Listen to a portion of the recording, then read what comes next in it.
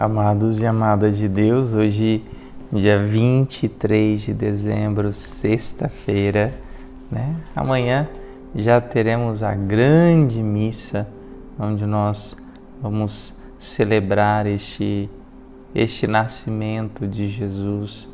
Né? O povo que andava nas trevas viu uma grande luz, esta estrela né, que vai. É, vai até a, a manjedoura, guia os seis magos, né? Esse, esse casal que encontra um simples estábulo, né? Para poder ali dar a luz a um filho, né? Então que que essa que esse momento, né? Que nós estamos vivendo, que a gente possa já ir se preparando né? Tô muito com muita fé que esse Natal vai ser diferente para você.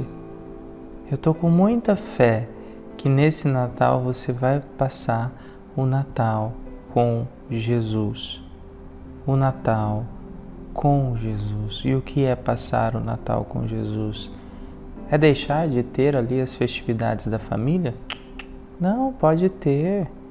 Celebre sim, mas passar o Natal com Jesus é, é entender que eu preciso participar da missa né, presencial ali, porque é o verdadeiro sentido da minha vida, né, poder participar né, dessa missa né, do nascimento de Jesus. Né? Então fica o, o convite aí para vocês participar da missa do Natal do Senhor né? Ainda estou aqui pensando qual que vai ser o horário e o padre esqueceu, né? Mas uh, quem acompanha a, a, a missa na, no nosso canal né, vai saber. Né? Mas a nossa missa vai ser transmitida pelo YouTube, sim. Se você já se inscreveu no nosso canal aí, Hospital de Amor, né? O sininho e ativou o sininho na hora que a gente entrar no ar, você vai poder rezar conosco, tá bom? Então vamos lá. Então hoje, dia 23, o Evangelho é de São Lucas, capítulo 1, versículos de 57 a 66. Completou-se o tempo da gravidez de Isabel e ela deu à luz um filho. Os vizinhos e parentes ouviram dizer como o Senhor tinha sido misericordioso para com Isabel e alegraram-se com ela. No oitavo dia foram circuncidar o menino e queriam dar-lhe o nome de seu pai, Zacarias. A mãe, porém, disse: Não, ele vai chamar-se João.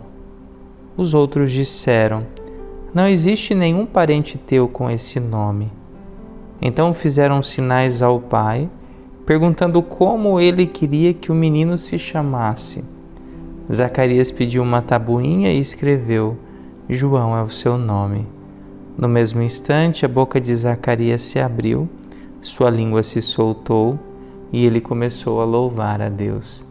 Todos os vizinhos ficaram com medo e a notícia espalhou-se por toda a região montanhosa da Judéia. E todos os que ouviam a notícia ficavam pensando: o que virá a ser este menino? De fato, a mão do Senhor estava com ele. Palavra da salvação, glória a vós, Senhor. João será, João é o seu nome. Essa foi, né, o que isso, isso foi o que João Batista escreveu na tabuinha. Então, só para a gente relembrar, quando, João, eh, quando Zacarias estava é, no, no templo, o anjo apareceu para Zacarias e disse: Olha, tua mulher vai ficar grávida. Você, vocês terão um filho que se chamará João e ele vai ser o precursor. E naquele momento Zacarias duvidou, mas como? Já somos um, já somos velhos, né? Não tem mais jeito não, né? E aí que o impossível para Deus se torna possível. Só que por, pelo fato de de Zacarias ter duvidado, ele fica mudo, né? E eu fico pensando que tem muitas pessoas que acabam ficando mudas mesmo por não conseguir acreditar em Deus. Né? Elas acabam ficando tão sem palavras né? diante do, de uma realidade onde a vida ela fica muito no concreto, entende? Tudo não consegue ir além do que pode ser visto, pode ser tocado. Gente, fica muito vazio. A fé e a esperança nos leva a ir além. E é tão bom quando a gente consegue ir além. É tão bom quando a gente consegue na nossa vida e dar esse passo a mais, né? E aí então João Batista, perdão, Zacarias esteve todo esse tempo com sua esposa, né? Quando nasceu o filho, tem que fazer a apresentação, dar o nome. E geralmente o costume era dar o nome do pai. Até hoje nós temos que o primogênito geralmente tem o nome do pai e ali no final fica Júnior, ou o nome do pai no final fica filho, né? E a Isabel falou: não, ele vai se chamar João. E por que que Isabel fala? Porque Zacarias estava mudo. Quem fazia essa parte era o homem. E ali como Isabel fala um nome que não tinha, não fazia sentido, eles perguntam para Zacarias, tipo Zacarias, você que decide. E naquele momento Zacarias fala: João é o seu nome. Por que que Zacarias fala que João é o seu nome? Porque foi o anjo que falou para Zacarias que ele colocaria o nome no filho de João. Entende? Quando Zacarias fala que João é o nome né, da criança, Zacarias está dizendo: Eu acredito né, que essa gravidez foi por obra de Deus. Gente, isso é muito bonito porque é conseguirmos, é a capacidade de conseguirmos enxergar as coisas da nossa vida como obra de Deus. Tem muitas pessoas que estão enxergando as coisas da vida como coincidência.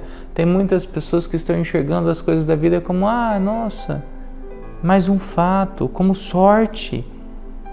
Passe a enxergar as coisas como obra de Deus. Passe a enxergar as coisas como obra de Deus. Zacarias enxergou e ele então sua língua se solta e ao se soltar ele consegue louvar, glorificar, bem dizer. As pessoas ficam assustadas pensando o que, que viria a ser, virá a ser este menino, ou seja, nós sabemos o que virá a ser, sabemos tudo aquilo que ele fez, né, como precursor, né? Mas o, o ponto central de hoje é este alguém que sai da incredulidade e vai para a credulidade, para a fé. Ele saiu de uma falta de fé e foi ali por uma fé verdadeira. E não que ele não era um homem temente a Deus. E é muito importante isso, porque nós corremos o risco de sermos pessoas de dentro da igreja, mas sermos fracos na fé. Que nesse dia 23 de, de dezembro a gente, a gente possa ter mais fé e que a gente consiga enxergar, né, a ação de Deus mesmo na nossa vida. Acreditar, olha, é obra de Deus. É algo que eu batalhei, eu conquistei, mas é obra de Deus. Vamos rezar juntos. Pai nosso que estais nos céus, santificado seja o vosso nome, venha a nós o vosso reino Seja feita a vossa vontade, assim na terra como no céu. O pão nosso de cada dia nos dai hoje. Perdoai as nossas ofensas, assim como nós perdoamos a quem nos tenha ofendido. E não nos deixeis cair em tentação, mas livrai-nos do mal. Amém. Que o Deus Todo-Poderoso te abençoe, Pai, Filho, Espírito Santo. Amém.